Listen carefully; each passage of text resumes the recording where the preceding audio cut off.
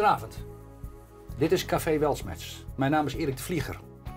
Afdeling spannende gesprekken. Althans, dat hoop ik te bewijzen. En ik heb een bijzondere gast. Yves Gairat. Goeiedag Yves. Goeiedag. Yves, ik heb eigenlijk een beetje met mijn research proberen iets te vinden om jou aan te kondigen. Maar dat lukte me niet. Hoe moet ik jou aankondigen? Gewoon Yves. Yves, maar Yves. Ja, nee, maar dat is, oh, dat is grappig dat je dat doet. Ja, dat is, ik heb zoveel verschillende kanten. Ik ben ondernemer, ik hou van sport, ik hou van politiek. Ik opereer in het luxe segment. Dus dan kan je blijkbaar geen uh, sociale kant hebben. Maar dat vind ik ook heel erg uh, aantrekkelijk om daarmee bezig te zijn. Zullen we daar eens gelijk over beginnen? Ja, maar... Die sociale kant. Kijk, die sociale kant. Want ik wil, ik wil met jou op een reis gaan. Oké. Op een reis ook van je ellende. Hoe je als ondernemer daarmee omgegaan bent. Maar er is één ding, en daar je er zelf over. Net buiten bij de studio hadden we een gesprek. En er kwam iemand naar je toe. De oprichter van Weltsmers. Die had al een gesprek met jou gehad verleden week. En die zei... Goh, we hadden een heel ander beeld bij jou. En, en dat vond jij heel herkenbaar. Ja. Komt dan omdat je met geld te maken hebt, met rijke mensen, miljonairen, dat mensen een stempel op je voorhoofd zetten? Ja. Nee, ze, ze zeggen wel eens, hè, zeg me wie je vrienden zijn. En ik zeg me wie je bent. En ik opereer natuurlijk in de wereld van het grote geld. Dus je ziet mij vaak uh, in de omgeving van mooie auto's en vliegtuigen. Ja, dan heb je meteen een stempel op je rug en op je gezicht en op je voorhoofd. Negatief? Um, aan de ene kant vinden mensen het interessant. En aan de andere kant hebben ze zoiets van, ja, daar wil ik niks mee te maken hebben. He, dus wat de boer niet kent, dat vreet hij niet. Maar waarom zouden ze er niks mee te maken willen hebben? Ja, dat, dat, dat is heel grappig. Ik, zei, ik weet, we zitten hier in de buurt, de opnamestudio's in de buurt van uh, de Passengers Terminal. Nou, 2002 heb ik daar ooit de eerste Miljonair uh, gedaan.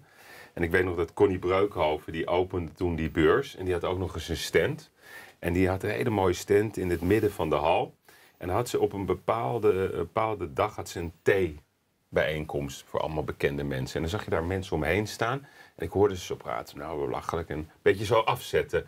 En Connie die ziet dat en die pakt die twee en die zegt ga lekker zitten. En die mensen die doken er bijna in. Dus als je... Als wat je, een boer niet kent, eet hij niet. Nou ja, het is ook als je, als je er niet bij komt. Dus dat, ik noem het wel eens het verhaal dat als je buurman een Porsche hebt. Dan zegt de, de buurvrouw vaak, ja dat klopt niet. Nee. Maar als je zegt wil je hem hebben, dan nemen ze hem vaak aan. En, en, en geld en rijkdom, dat heeft vooral in het Calvinistische Nederland, heeft een bepaald stempel. En als jij daar dan ook nog eens het gezicht van bent en de woordvoerder. Ja, dat moet ik de kijkers nog even uitleggen. Ja. Je bent oprichter van de Millionairesfairs, je had de bladen JFK, Jackie. Jackie. Ehm, je bent in de problemen gekomen, dat ga ik zo over, over Ja. hebben. En nu is de Luxury Fair, Masters of Luxury. Masters of Luxury, waar echt een beurs in de raai waar echt maar de goederen voor de rijke mensen worden tentoongesteld. En je bent eigenaar van een magazine wat dat ondersteunt. Ja. En, en in Een april eigen tv-programma. en een eigen tv-programma op RTL 7. Ja, maar vanaf eh, september op SBS. Oké, dat is groot nieuws. Ja, is een Hey, nieuwtje. Ja. mooi. Ja, ja, ik Oh, jou de nieuwtjes. Ehm, kijk, ik wil met jou op reis gaan ehm, naar een bijzondere periode van je leven. Je bent, je bent, je bent natuurlijk in een, in, in een opkomende markt. ehm, heb je keihard gewerkt en een groot bedrijf neergezet. Enorm beurs in Rusland. eh, Je liep in China. Het zou naar Dubai gaan. eh, Engeland zou het gaan. En je verdiende enorm veel geld. Je had enorm grote klanten. Zelfs institutionele klanten. En eigenlijk in, april, of in maart 2013 sloeg het noodlot toe. Ja. Jij bent toen ehm, in de problemen gekomen, laat ik het Ja. zo zeggen. Er zat een faillissementje aan, allemaal gezeik. De media heeft het allemaal kunnen volgen. Ik heb ook mijn ellende gehad, dus ik snap dat wel. Ehm, wanneer voelde jij dat, dat debakel aankomen? Pas op de avond ervoor of voelde je dat al weken aankomen? Yves Geirat is in maart 2013 van een ster als een omgekeerde komeet naar beneden gevallen. Ja. Wanneer voelde je dat aankomen? Grappig. Je je bent de eerste die vraagt wanneer ik het aan voelde komen. Ja, dat, dat, vroeg ik me af in mijn Ja. denkwijze ervoor. Of heb je tot het laatste moment, tot het laatste uur gedacht, ik kan het nog? Nou, het, het- ik ga de kijker niet eh, lastigvallen met allerlei technische verhalen, want dat, interesseert hem niet. Maar het was natuurlijk al een langere weg. Eigenlijk begon, begon ja, het lastige in 2009. Begin 2009. De, crisis begon in 2008. In 2009 was ik on top of the world. Groot pand, eh, kantoor in de hele wereld. En toen kwam al die ellende. Ja, daar had ik ook last van. Dus het, dus het schip, zeg maar, was eh, op weg naar een, eh, een gigantische botsing. Maar had je dat toen al door? Daar gaat het Ja, om. ik door. Had En- ik door. en- maar had je toen, maar had je toen Maar het ik had niet door dat dat... eh, Klapte, zou klappen? nee. nee, omdat ik ben sowieso optimist. Ik zie altijd kansen, ook als er problemen zijn. Dus ik zie altijd eh, ontsnappingsroutes. Oké, hou, hou die even vast. komt altijd goed, denk maar ik hou dan. vast. Dus je vaart als het ware naar de ondergang. En je blijft geloven Ja, dat je het gaat redden. Ja zeker. Ja? Nou wil ik van jou weten, dat moment dat je dacht dat je zeker wist dat je het niet meer zou redden. Ja. Was dat een dag ervoor, een week ervoor? Nou, dat was eh, in, in die periode, zeg maar, dat ik, dat ik eh, want ik was bezig met, met het bedrijf gedeeltelijk te verkopen. Of zelfs helemaal, maar dat, dat, die ambitie had ik niet. Want dan had ik gewoon beter kunnen zeggen, jongens, zoek het lekker maar uit. En laat ik dan de ellende komen. Dus ik wil graag door blijven ondernemen. Toen had ik het nog niet. En eigenlijk vanaf het moment dat, ik, dat we in zee zijn gegaan met elkaar. Ja. Hè, met, een, met een investeerdersfamilie. Ja. Ja, dat heeft nooit. eh, Dat, dat, het was geen goede match. Het was geen gelukkig huwelijk. Dat zonder enig verwijt. Nee, maar ik bedoel, daar ben je allemaal zelf bij. Maar dat, dat klikte gewoon niet. En ik denk, ja, zo'n beetje in december. Dus zeg maar december 2012. Ja, toen had ik wel het gevoel van. eh, Ik ga het niet redden. Ik weet niet, dit gaat gewoon niet, dit is niet Nee? goed. Toen voelde ik me ook, het grappige is dan, dan de, de energie die je in je lichaam hebt, die verdwijnt. Ze zeggen wel eens adrenaline geeft onbeperkte kracht. Je kan leven op adrenaline. Ik kende mezelf niet meer. Ik was moe, ik had geen kracht meer. Cort- cortison. Nee, ik heb nooit pillen geslikt. Ik was paranoia. Dat is het ergste eigenschap die je maar eh, kan bedenken. En ik was mijn zelfvertrouwen kwijt. En niets is meer funest voor een ondernemer als je je zelfvertrouwen kwijt bent. Ik zag mezelf niet meer in de spiegel als, als de man zoals ik altijd dacht te zien.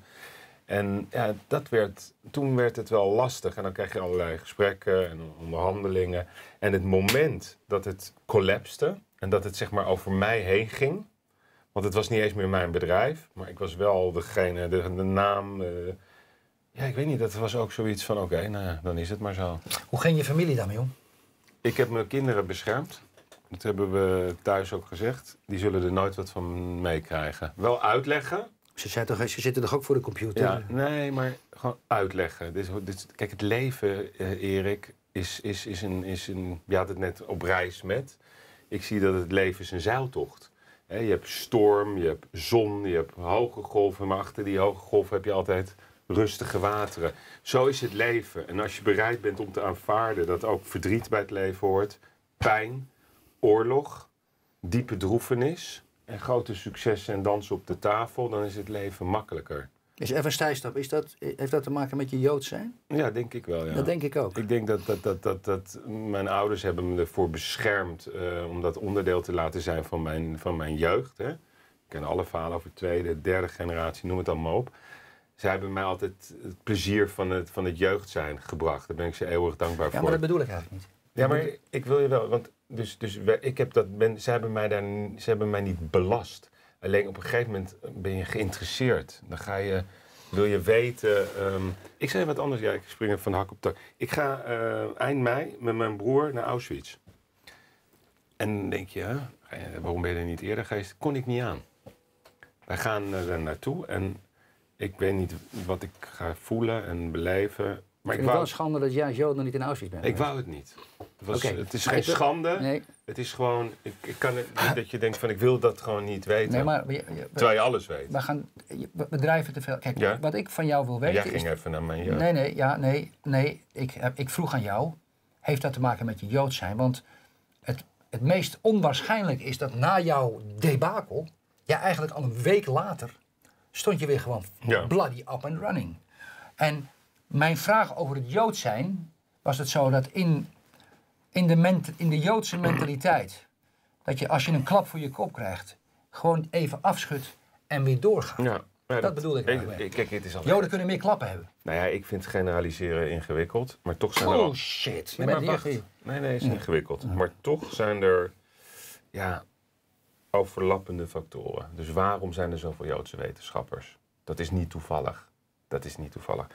Dus ik denk wel dat, dat Joden, ehm, ja, het is niet de laatste eeuw, altijd achtervolgd zijn geweest. Dus er zit een soort gewenning in dat als het moeilijk is, dan krijgen we meer kracht. Ja. En ik weet nog, uh, toen, toen ik mijn echte diepe ellende, dat ik wakker werd, kreeg, dacht de NRC, next, uh, hele voorpagina had ik. Maar geen leuke voorpagina. Dus er kwam zoveel over je heen en ik was moe. En ik, ik lag op vrijdag, ik weet nog precies, om 11 uur overdag lag ik op de bank. Ik was gewoon op. Toen was het tijdens het faillissement of daarna? Ja, dus, zeg maar net daarna. Gewoon, ik had gewoon geen kracht kapot. meer. Ja. Kapot. En Tamara, die, uh, die zat bij me. Tamara is je vrouw? Tamara is mijn vrouw. En toen dacht ik van, uh, dit kan niet waar zijn. ik, ik, opeens zei ik, weet je, we gaan het bos in. We gaan rouwen in het bos. Toen zijn we het Amsterdamse bos ingelopen. En dan ga je, ja, emoties, pijn, uh, alles vertellen wat je voelt, wat je beleeft. Ik zeg, maar morgen is een nieuwe dag. En morgen vergeten we alles en dan gaan we weer aan de slag. Hoe belangrijk was jouw vrouw daarin? Essentieel. Essentieel. Essentieel. Alle credits voor haar. Ja. En, en ik moet je zeggen dat um, dat moment, dat was mijn moment dat ik weer kracht kreeg. Ik was op. Ik was leeg. Ik had geen energie. Leeg vochten. Geen creativiteit. Het was gewoon... En waarom? Negatief? De, negatief, negativiteit is... is ruzie met iedereen? Je ging ruzie maken? Iedereen. iedereen was ook ontvlambaar. Maar negativiteit, hè, dat is e-, echt... Dat is de allergrootste ziekte voor een ondernemer. Dat moet je altijd vermijden. En tuurlijk, soms wil je revanche en boosheid. Het heeft geen zin. Ik heb er veel last van. Ja, weet ik. Het gaat om jou. Kijk. Um, maar je weet, ja, toch om daar iets over te zeggen. Uh, jij bent langer in je negativiteit blijven hangen. Ik heb iets meer meegemaakt. Je hebt meer meegemaakt, zeker weten. Ja. Alhoewel je nooit kan zeggen dat ik exclusief iets heb meegemaakt. Nee, Ieders leed is, het voor zichzelf. is, individueel. Dus je kan niet tegen iemand zeggen of iemand nou uh, op straat is aangevallen of, of iemand uh, is, is mishandeld ergens op een eiland okay. en zeven jaar gevangen is. Iedereen's leed is zijn persoonlijke okay. belevenis. Maar ik, de mensen die naar dit programma kijken, en er zitten waarschijnlijk ondernemers bij, jeugdige ondernemers. Ja. Die heb jij het advies gegeven. Ga het bos in, kom tot jezelf en ga gewoon weer door. Je vrienden en je zakenpartners, hoe gingen die met je om? Ja, nou, ik moet je zeggen dat, uh, dat als, jij, als jij in de problemen zit, dan is de beste sleutel is transparant en eerlijk zijn. En ik was altijd van de Goed Nieuws Show. Ja, dat weet ik, ja. Ja, en dan, en dan durf ik niet te vertellen dat iets helemaal kut is. Dat hoort niet bij je. Dus dat ontken je dan. Gaat zo'n laadje in, hup, sleutel erop. een beetje macho gedrag laten zien? Nee, maar we hebben nooit problemen. Maar dat is natuurlijk niet zo. Dus het is het ontkennen van de waarheid. En het ontkennen van de waarheid staat bij mij synoniem aan ongelofelijke domheid en gebrek aan ervaring. Dus, dus ook ellende, dat is gewoon onderdeel van het leven. En op een gegeven moment merk je gewoon, het is zoals het is. Vriendenrelaties, hè? Ja, ja, kom maar. En dan ga je, neem je gewoon, want je, je relaties, dat zijn je klanten, dat zijn je partners. Ik belde ze gewoon op. Het is helemaal kut. Morgen ga ik weer aan de slag. Ik vind dat je het moet weten. Blijf je aan boord. Punt. En dan is het ja of nee. En dan is het nog niet eens de vraag hoe je aan boord blijft, maar blijf je aan boord of niet. Heb je dat zo gedaan? Ja, zo kort als maar kan. Alle relaties en dat soort dingen Alle gedaan? grote, ja. En in percentage, wie, welke gingen er mee? De meeste. Echt waar? Ja, de meeste. En uh, kijk, mensen zeggen ook wel eens als je, als je uh, want je krijgt ook het, allemaal mensen die, die weten precies hoe het is, maar die weten helemaal niet hoe het is. Les 2, transparantie dus. Transparantie is essentieel. Eer, eerlijk zijn. Eerlijk zijn. vertellen, zo zit het. Je relaties opbellen. Niet schamen ook. Niet wegduiken. Niet wegduiken. Het hoort erbij. En gewoon het benoemen ook. Maar wel positief blijven. Want je krijgt een heleboel, je krijgt de grootst mogelijke idioten op je af. Mensen gaan je bellen. Gaan werkelijk, ik heb nog nooit zo'n idioot op me afgekregen. Maar ook hele gekke dingen. Ik vond het zo leuk bijvoorbeeld. Lag er opeens een cd van Acta en de Munnik bij mij in de brievenbus. Die ken ik helemaal niet, die jongens. mooi liedje erbij. Mooie brief erbij. Van allemaal... de Munnik? Ja, vond ik zo lief. leuk. Of, of de buur, iemand bij ons in de straat, die kwam dan met een, met een taart. Ja, ik denk, ja, wat, ik mhm. weet niet wat ik moet doen. Dat is lief. En je hebt ook klanten die gewoon je blind steunen. Die heb je ook. Maar je hebt ook klootzakken.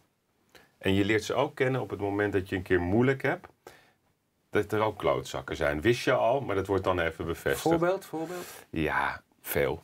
Dat zijn gewoon mensen die, die, die, die gaan altijd mee met de stroom. Dat zijn mensen, dat zijn geen ondernemers. Even, ik, ondernemers moet je heel eerlijk bekennen, Erik Ondernemers die, die, die weten namelijk wat ondernemer. Ik ken geen ondernemers die niet af en toe met een kop keihard tegen de muur lopen. Mhm. Ik ken geen ondernemers die geen pijn hebben gevoeld. Die ook hebben lopen draaien. Hoe ga ik deze Nee, rekeningen maar- betalen? maar- maar- dat weet ik. die snappen het wel. Dat snap ik, maar kijk, mij gaat het er ook om dat, dat, dat, dat er lessen geleerd kunnen worden uit het feit dat mensen stijgen en weer vallen. En mensen die dit zien. Ehm, en het tweede punt, ja, vond ik erg belangrijk, is transparantie. Ja, en weet je wat, wat, wat, wat een heel belangrijk punt is? Ehm, dat je, je moet geen, ehm, je moet niet paranoia worden. Want je denkt namelijk dat mensen iets over je denken. Dat is wat je denkt. Dus als je bij de slager staat, dan denk je, nou, ze zullen wel wat denken. Maar dat is niet zo. Dat duurt een dag en een week en soms twee weken. Maar ze zeggen wel eens, hè, met de krant, daar doe je, doe je vis in. En morgen is er weer een nieuwe krant. Dus het is ook heel belangrijk ben dat het je... niet helemaal met je eens. Nou, ik begrijp wat je zegt, maar ik heb wel gemerkt dat in het begin heb je heel erg de neiging om antwoord te geven op een niet gestelde vraag. Ga je gewoon iets eh, vertellen waar mensen helemaal niet mee bezig zijn. Maar ze zijn eigenlijk helemaal niet geïnteresseerd. Want als ze dan iets aan je vragen, dan heb je de neiging om alles te gaan uitleggen. Omdat jij hebt je eigen verhaal, je hebt de details, je hebt de hele rit, de hele reis. Maar je moet gewoon door. Oké. Mijn advies is, pak je verlies, accepteer het als een man. Voel de pijn ook, dus niet, geen pijn voelen. Tuurlijk, je hebt pijn. En daarna moet je ook iets doen met die pijn. Time. Sporten. Punt nummer drie. Hoe ga je met de media om? Ehm, als, je, als je het ziet aankomen. Als het je gebeurt. Ik heb gezien, ik heb overigens zelfs ook meegemaakt, dat als mensen in een positie zoals jij, die de rijken bedienen, Ja. in de journalistiek enorm veel vijanden maken. Maar je bent sterk, dus ze Oh. kunnen niet slecht over je schrijven. Toen kwam het moment dat Yves Geiraat wankelde. Mhm. Op 20, 21 maart 2013, weet ik veel wat. En Yves Geiraat wankelde. En wat ik toen las, alsof je, de, alsof je een totale ondeskundige sukkel was opeens. Ja. Ja, Hoe maar- ga je daarmee om? Ja, dat moet je gewoon accepteren. Dat is, dat is, eh, ik, ik bedoel, ga, ik denk wel eens, ga, staan in de schoenen van Louis van Gaal. Als je ziet wat die man in zijn leven allemaal over zich heen heeft gehad, dan ben ik daar een kruimel bij. Dus je moet daar gewoon niet lullig over doen. Maar er is wel een verschil tussen gewoon verhalen en onzin. En onwaarheden. Ik heb veel onwaarheden over Ja, jou nou ja, die pak ik dan ook aan. Dat laat ik nooit liggen. Alleen het feit dat mensen dan dat leuk vinden, want die heb je ook, en mensen daarom lachen en dat je wat trapjes krijgt, dat hoort erbij, Erik. Je krijgt applaus, maar je krijgt ook wel eens straf. En je moet aanvaarden dat als je, als je zeg maar op, de, op, op het hoofdpodium staat, dat je ook wel eens een keertje geen applaus krijgt. En daar moet je dan niet lullig over doen. En dat maakt het veel makkelijker, want dan relativeer je het. Het is in mijn belevenis niet persoonlijk. En sommige mensen vinden het leuk. Ik weet nog bijvoorbeeld dat, ehm, hoe heet die ook weer? Die ehm, van de wereld draait door, met het haar naar achter. Eh, Nico Dijkshoorn. Nou, ik waardeer hem als columnist. Ik vind hem een te gekke columnist. Die ging twitteren dat hij het wel leuk vond. Dat jij failliet was. Nou ja, dat- hij, kon zijn, hij, hij kon een glimlach niet onderdrukken. Dat zag ik. Ik kwam gewoon voorbij. Waar, denk ik, jongen, die man weet gewoon niet waar het over heeft. Maar dat is dan... Nee, maar Nico Dijkshoorn is gewoon een kapitalist die binnen zijn de wereld draait door doelgroepje bij zijn doelgroepje wil horen. Omdat hij nou eenmaal tegen de rijken moet zijn. Daar wordt hij voor betaald. Ja, dat is een vak. Dat is een vak. Die een verdient half miljoen per jaar Ja. om links te zijn. Ja. Ja, dat weet je toch Maar we gaan allebei naar dezelfde kapper, leerde ik toen op een gegeven Dat is, moment. dat is niet te zien. Nee. Yves, kan je even de kijker kort uitleggen? Jij kon je bedrijf verkopen destijds. Ja. Toen je in Rusland, hoeveel Ja. geld? 25 miljoen. 25 miljoen. En daar heb je nee op gezegd. Ja. Wil je ook weten waarom? Dat is best Eh, een leuk verhaal. Nou ja, nou, ja, wil ik het eigenlijk wel weten. Ik wil eigenlijk weten dat ik iemand is. Er zit iemand redelijk vrolijk en sterk Ja. hier bij Café Weltsmets. Ja. Die zegt ja, het is me gebeurd, ik ga gewoon weer door. Maar hoeveel jaar daarvoor kon je het voor 25 miljoen verkopen? Kort. dat is leuk zeg. Ja. Nou, vertel het toch maar. Het, eh, grappige is, want het was al lang aan de gang. En elk jaar kwam er een andere partij en er kwamen er steeds meer. En eh, dit was dan een, eh, zo'n private equity company. En toen eh, hadden we de closing op het strand van Saint-Tropez. En ik weet nog, ik vloog op Nice. Toen dacht ik, je druk in de zomer, de hele rit naar dat Saint-Tropez. Ik denk, nou neem de helikopter. Tuurlijk. Maakt toch niet uit. Stond daar 600 euro, nou ja, maakt toch niet uit. en, en ik landde daar. En, eh, en iedereen wist het al. Terwijl we eigenlijk eh, nog helemaal niet de handtekening hadden gezet. En hele leuke man, Rob, Wa of, eh, Rob Thiele van Waterland. Stond eh, recentelijk wat minder leuk in de krant met die overname. Ja. van de afvalgebeurtenis. Nee, is no issue nu. Nee. En is zo raar. We zaten daar en het was gezellig. En toen dacht ik, ja, ik heb hier helemaal geen zin in. Daarvoor ben ik niet gaan ondernemen. En toen ging ik terug naar Cannes met die helikopter weer. En toen heb ik die avond een hele rode fles wijn leeg gedronken. In mijn eentje, in Cannes. Toen dacht ik, ik ga het niet doen. Ik belde maandag op. Ik zei, ik doe het niet. 25 miljoen, hè? Ja, plus nog earn-out. Hè? Dus het is, als je het gaat kapitaliseren, is het misschien wel dubbele. En toen zei hij, ja, was beleden, waarom dan? Ik zei, ja, wil je meer? Ik zei, nee, het maakt niet uit wat, ik wil het gewoon niet. Omdat dat nooit mijn, mijn doel was om te verkopen. Nee, nee, ik snap dat. Of het nou slim is of niet, dat is Ja. een hele andere discussie. Maar het is een mooi Als je verhaal. geld tekort hebt, Ja. is het altijd dom. Maar het is een mooi verhaal. Ja. Yves. Wij zijn twee verschillende mensen. We zijn niet onbemiddeld. En jij gaat natuurlijk ook weer een keer in het land der bemiddelden terechtkomen. Voor zover je dat nog niet bent. Ehm, ik vind rijke mensen niet zo gezellig. Het is wel je markt. Ja. Heb jij nou wel echt plezier met die mensen, met je klant? Ja. Met die producten, die dingen? Ja, ik, word er een beetje, ik, word er een beetje, ik word er een beetje flauw van soms, van het gezeik over materie en zo. Ja. En dat, ehm, dat is een... eh, Je wil het. Ja, ja, ja, ik ga zo eer- eerlijk zijn. Ik ga er niet omheen rijden. Maar waarom lacht hij? Omdat, ik het, omdat je gelijk hebt. Je hebt gelijk. Ja. Ehm, kijk, je kan niet Maar handel is handel, ik snap dat wel. Nee, nee, nee, Ja? wacht. Wow. Kijk, je kan niet zeggen rijke mensen. Dat vind ik gelul. Je kan niet zeggen zwarte mensen, witte mensen, arme mensen. Dat kan niet. Klopt. Daar moet, daar moet je mee ophouden. Laat Dus- ik zo zeggen, jouw markt. Even jouw Juist, markt. Exact. Nou, dan denk ik dat een onderdeel van die markt, die is vermoeiend. Het, de, dus het, het, het overdrevene gedrag van eh, materialistische eh, lusten en wensen en, en bewijsdrang, hè? dat is onzin. Ja, dat kan dat, heb jij, nou- dat heb jij ook niet. Nee, heb ik helemaal niet. Nee. Maar dat, dat is niet iedereen. Kijk, ik vind, wat ik leuk vind, is, is mensen die iets maken. En ik vind het leuk om te zien hoe iemand een horloge maakt. Dat vind ik echt bijzonder. Ja. Want als je denkt, ja, een horloge is maar een horloge. Ja, klopt. En het enige wat je erop kan zien is de tijd. Ja. Maar als je ziet, naar de, als je naar de echte horlogemakers gaat, ja, dat is mooi. Dat is echt een vak. En, en de echte wijnmakers en de echte botenbouwers. Nederland, hele belangrijke industrie. Dat is wat ik leuk Jawel, vind. maar ik Het eind- misschien vind ik het eindproduct niet zo leuk. Nee, maar maar de ik- weg er naartoe wel. Maar dat, ik stelde de vraag, ik stelde de vraag, jij zit natuurlijk in een bepaald marktsegment, marktsegment met hele luxe goederen. Ja. Ja. En dat is dus, en, eh, dat is, en jij bent geen materialist, dat weet ik. Ik ken jouw familie. En ik zie jou niet, jou, ik zie jou niet je hele leven dit doen. Nee, ik Zie ik dat niet. goed? Dat zie je goed, ja. Zeker. Mag ik dan je dromen weten, van je zakelijke dromen, of wil je die niet vertellen? Ja, ik ben, eh, die heb ik wel eens uitgesproken vroeger. Heeft geen zin. Dus, dus, dus ik, ik, ja, weet je, ik, ik wil niet carpe, carpe diem eh, professor worden. Hè? Pluk de dag. Alleen eh, te ver vooruit kijken, dat heeft gewoon geen zin. Het is niet Ah, te je- voorspellen. je maakt je er nu wel heel makkelijk Nee, vanaf. Hoor. nee, Yves, Je hebt toch wel s'avonds in je bed, dan lig je te denken en fantaseer je een beetje. eh, niet over, Wat over ik- seks, maar dan fantaseer je over. ook, over ja, na de seks fantaseer je ehm, je erkenning. Jij bent een man van erkenning. Ja, wil je, jawel, je, je wil wel erkend worden. Yves. Het is niet alleen maar de handel. Nee, kijk, het is leuk om... om eh, Dan heb je toch een idee wat je toch zou willen? Maar dat, Groot warenhuis in Amsterdam. nee, dat is geen, En- en- dat, nee, maar eh, dat is, niet, dat is Een- geen een, eh, ambitie. een, een boek, je bent een boek aan het ja, schrijven. dat, dat vind ik leuk. Dat is wel waar ik... Hoe weet ik dat? Nou, dat heb ik je- jij verteld. Nope. Jawel. Nee, heb ik van een ander gehoord. Oké. En dat, dat vind ik, ik vind schrijven vind ik een feest. Voorrecht ook. Ook als je ziet dat we dingen mogen opschrijven wat we vinden. Dus dat is, dat is misschien het leukste om te doen.